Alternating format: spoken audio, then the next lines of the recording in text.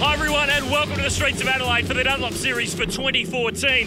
We've changed the game a little bit since we saw you last December because we've changed the formats for this year. There'll be two races at every round and they're longer races too. So that first corner carnage should disappear that we had last year with lots of safety cars. There'll be separate qualifying sessions at four of the seven rounds, including this weekend on the streets of Adelaide. 30 cars, lots of drivers stepping up, and this guy is back. Paul Dumbrell won the series in 2002. 12 years on, he's back to stay race sharp for the endurance races, where he'll team with Jamie Whincup at Red Bull Racing Australia. It's all about making sure that he's race fit come September.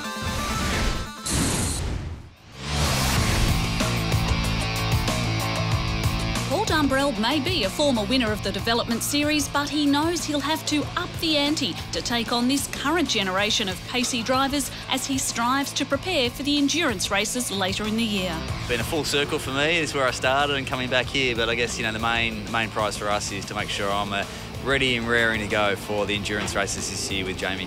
His teammate this year is Garry Jacobson, a Formula Ford graduate who will no doubt soak up all he can from his new mentor in his second year in the championship. Paul's quite up to speed with the V8 supercar. Uh, his experience is something that I'm trying to uh, keep up with now during race weekends. If I can feed off that as much as I can, I think I'm going to have a really good year. Last year's Dunlop Series runner-up Ash Walsh set his sights on the title last year, only to see it slip away to Dale Wood. But this year, he's especially hungry to go one better. Really crucial for me this year to prove to the guys up and down the main game pit lane that I'm uh, capable of doing the job. So I felt Sydney was probably my best round in doing that. I felt really good and comfortable there. So I feel like Adelaide coming off the back of there has been quite good. So I'm going to try and build on that experience and do the best job that I can. There's an international flavour to the Dunlop Series this year, with Swede Fredrik Lestrup joining the fold.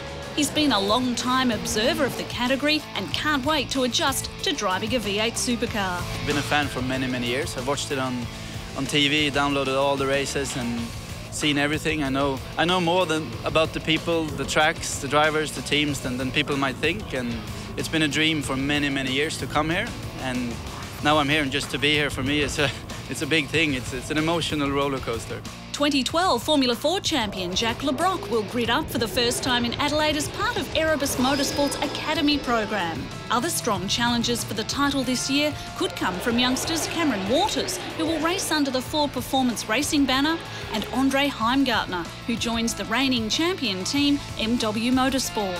Coming out of Formula Ford, I was I was pretty fast in that, and I was I was winning a lot. Um, getting in the DVS series, I just had to learn so much. Um, I just ran in the deep end, so um, yeah, I learned a lot in my first year of DVS, but I think I can kind of take that into this year and um, learn from all my mistakes in the past. Best thing I learnt last year was sort of how to conserve these tyres. These tyres are a lot different to drive than anything else I've driven, so um, especially I learnt that here last year. First race, massive flat spot on the first lap and had to, had to sort of survive the rest of the race.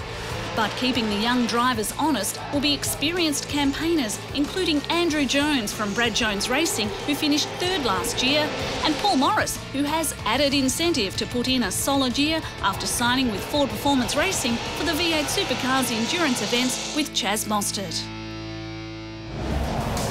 It's a brand new season for the Dunlop Series 2014, and there's so much on the line. The first round kicks off here in Adelaide after the break.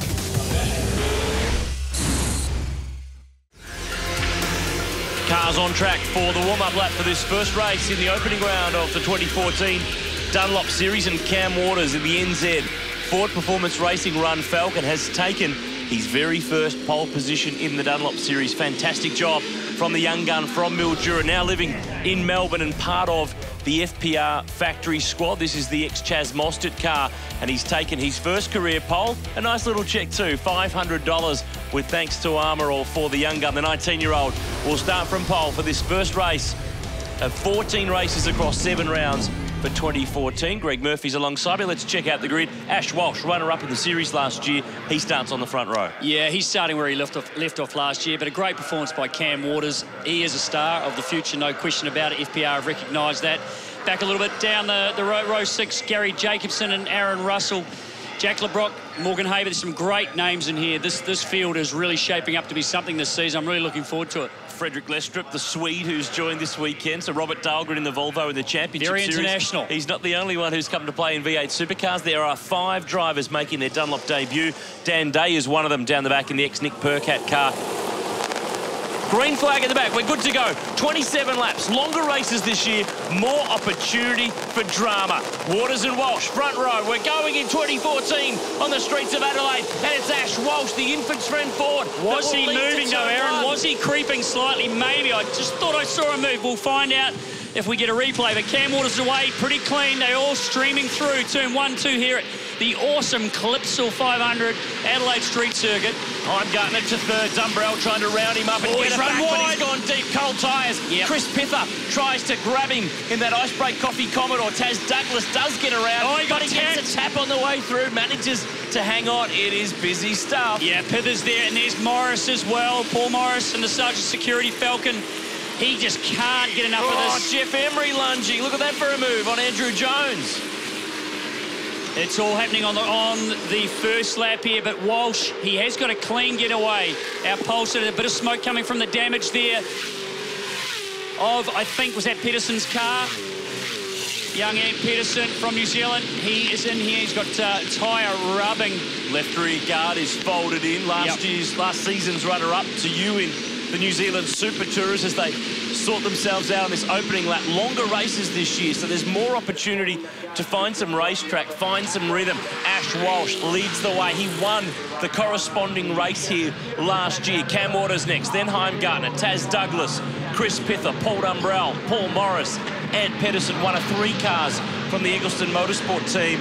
But that's not going to clear itself anytime soon, I don't think. Yeah, I think it's looking all right. It, it, it will depend on how much rubber it does rub off that uh, Dunlop tyre there, but you know, the, the bodywork looks okay. It doesn't look like it's going to be too much of an issue as far as, you know, having to, to get the meatball flag and incorporate into this one. one of the big issues at this time of the day, Murph, lots of the cars. Andrew Jones, a good example. More uh, stickers across the top of the windscreen. Yeah, they windscreen. need to take visor. down the windscreen. Yeah. The sun coming into turn four is terrible this time of the day. It's going to be interesting tomorrow with the supercar race as well. They're going to have a lot of this. But uh, Pearson running pretty wide. Geoff Emery up the inside. Good move there. Will he have the run down into the infamous turn eight? No, looks like looks like Ant.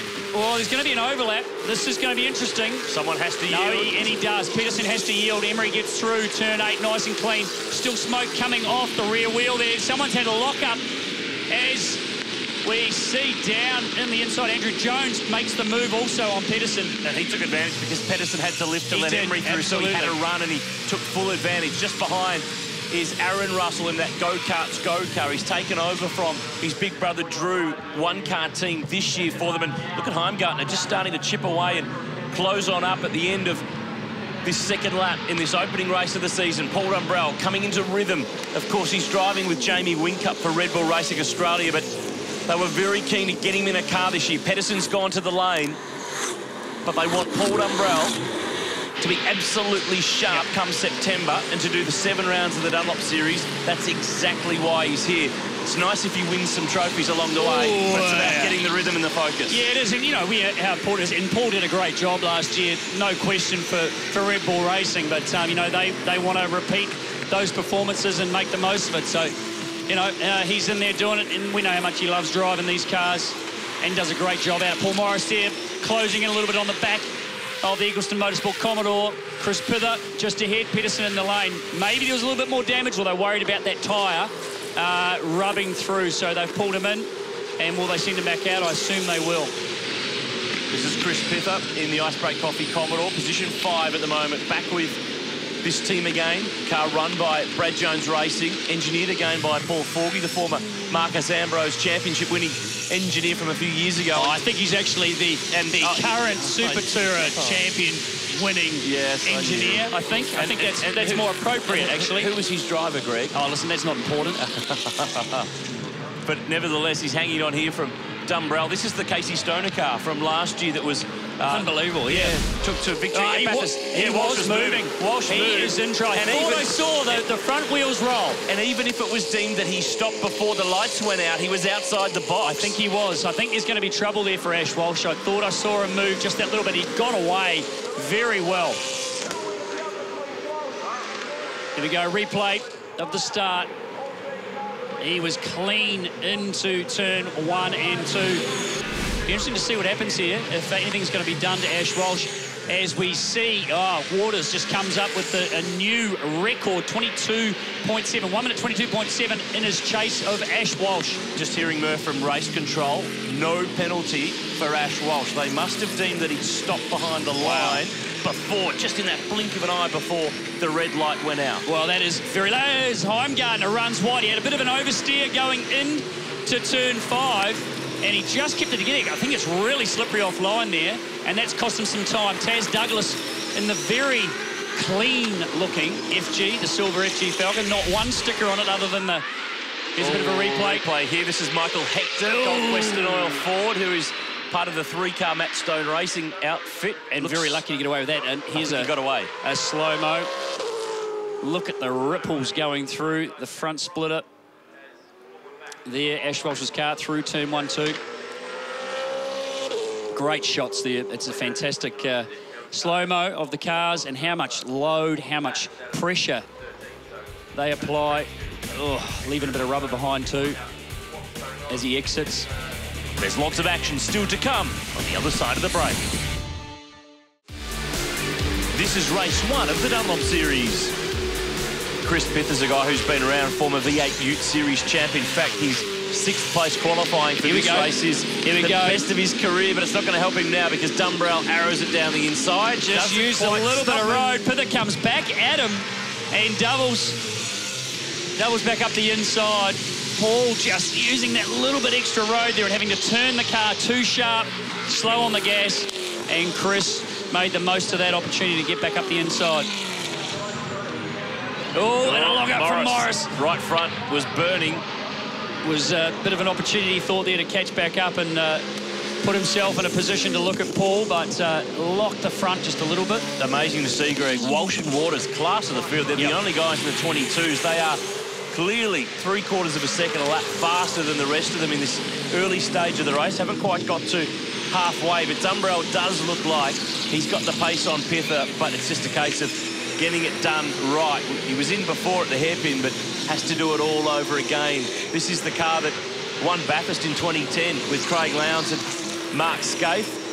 This team in the off-season's recruited well. They've expanded to three cars, but John Russell from Triple Eight is their race engineer, along with Dan Crone on the race weekend. So their umbilical cord to Triple Eight. Triple Eight obviously not running in this series anymore, but it's very, very strong. Oh, it doesn't get much better than that.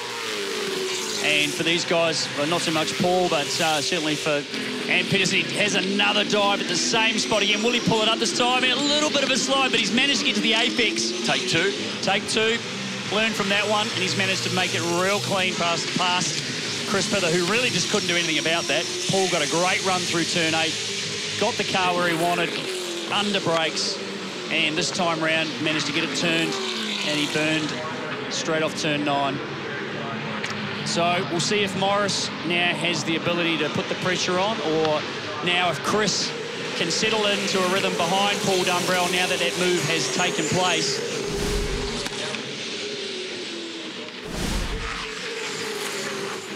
This is the fight for position number three. Taz Douglas has got it at the moment. This is the ex-Shane Van Gisbergen SP Tools car from a couple of years ago. Remember that all the cars in the Dunlop series are the cars that formerly raced in the V8 Supercars Championship, which now runs with the new generation machines.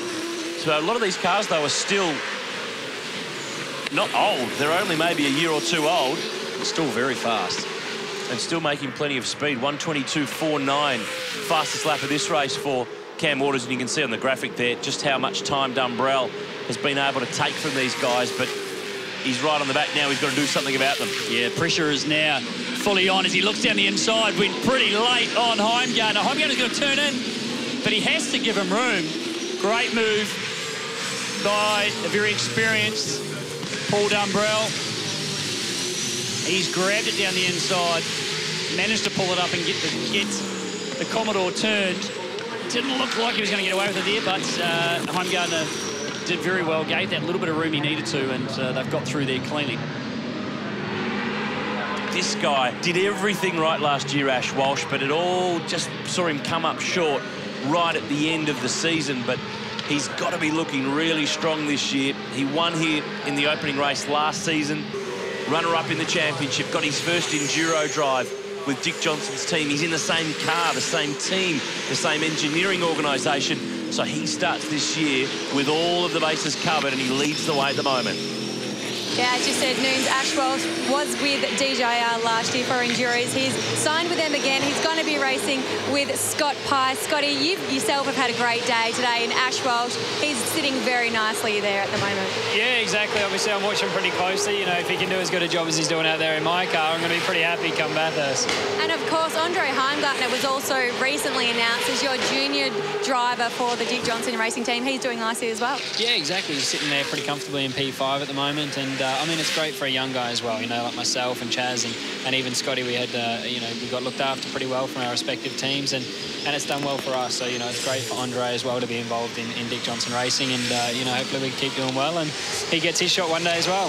Thanks, Scotty. Enjoy the rest of the race. Thanks, guys. Scott Pye was in this series, Rihanna, a couple of years ago with Triple Eight in the Monster Commodore, and he finished runner-up there in his return year. See some damage there. Sorry, Noons. On look Yeah, at Walsh's car. So. I He's th- say that's probably turn, one. Yep, that'll be a tyre bundle from yep down at the centre chicane, which is where he's on his way at the moment. Scuffed that left front. It's our right. It's a left. reasonable amount of damage here. It's pulled. Looks like it's pulled the the bottom tray there away from the rest of the front splitter. Uh, look, there's been a change further back. We've missed that. Paul Dumbrell's managed to get past Taz Douglas. And now Heimgartner's lining up for a run to the chicane as well.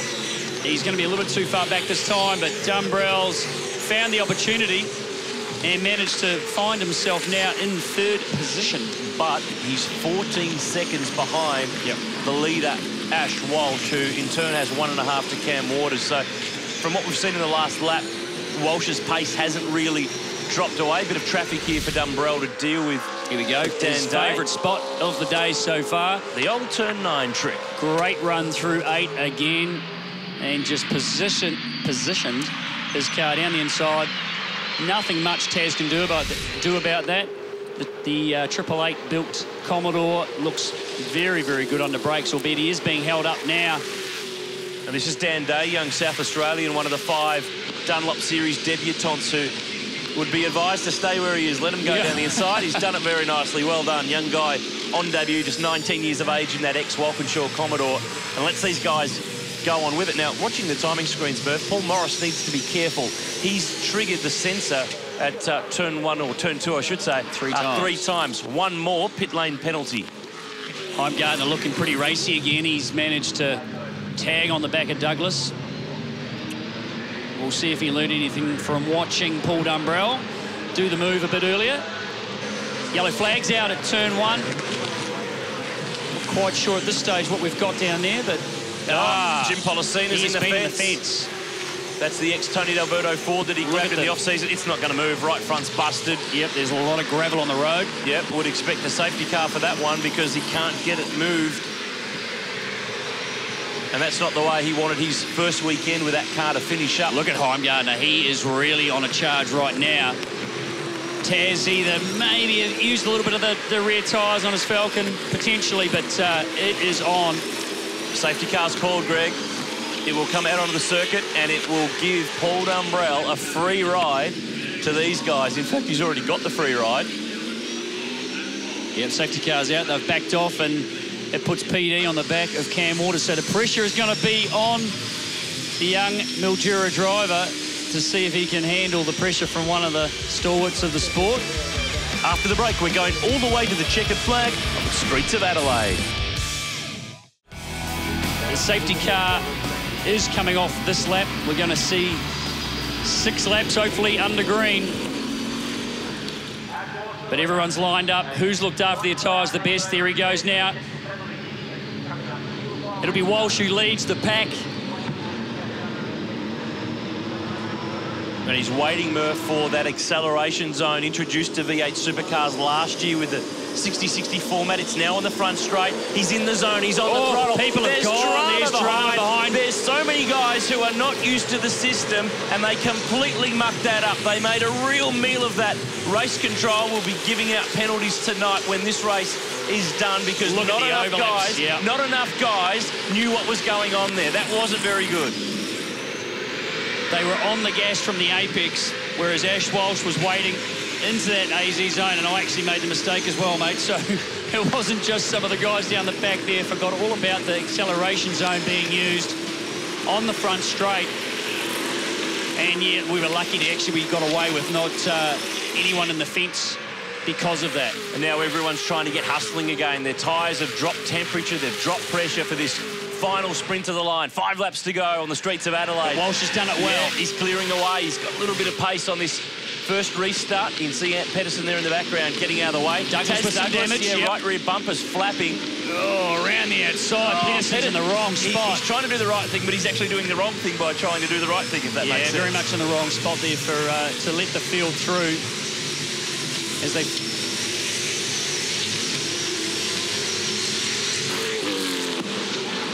Just hearing through Murph from race control that this is a going to be a Oi, again. wide. This will be a time certain finish, Greg. so Morris up the inside. there's not as much time left as, as we hoped. We otherwise would have liked to have seen, but that is how it is. Walsh, Waters, Dumbrell, one, two, three. They'll all start jumping the chicane if they've got hops left up that won't give them a post-race penalty. Now Heimgartner, he'll clear his fellow Kiwi. Who needs to get out of the wall.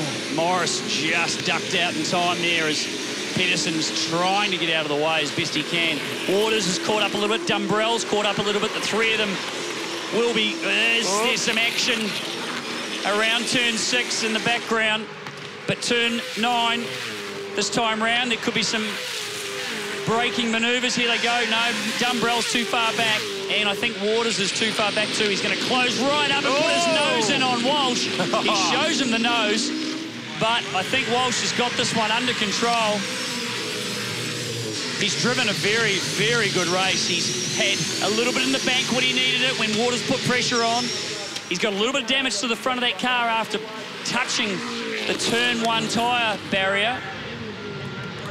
But he's going to bring it home, Murph. Final turn, first race of the season. He won this one last year to set up a championship challenge. He'll get it done on the streets of Adelaide. Ash Walsh has won the race. The Infants Friend Ford is on the board for 2014 in the Dunlop Series. The young Ipswich-based driver has done the job. Really nice job. Great start. Good, solid, positive drive. Cam Waters, really well done for FPR in his debut run in that NZ car. Taz Douglas was a factor. Lots of Kiwis in there too, but it's Ash Walsh who picks up the win in race one on the streets of Adelaide. Ash Walsh, what a ripper start to the year for you. Yeah, it's fantastic to get out there and get the uh, the first race win for the year. Um, I really felt like we had a good car today and probably underutilised a little bit in qualifying, so I was really happy to get a good start and then follow on and just control the speed of the race. Speaking of that start, was it clean? Yeah, I had a bit of a creak during the start. I obviously didn't have the handbrake on enough, but when the lights went out, I wasn't moving, so Go and enjoy. thanks.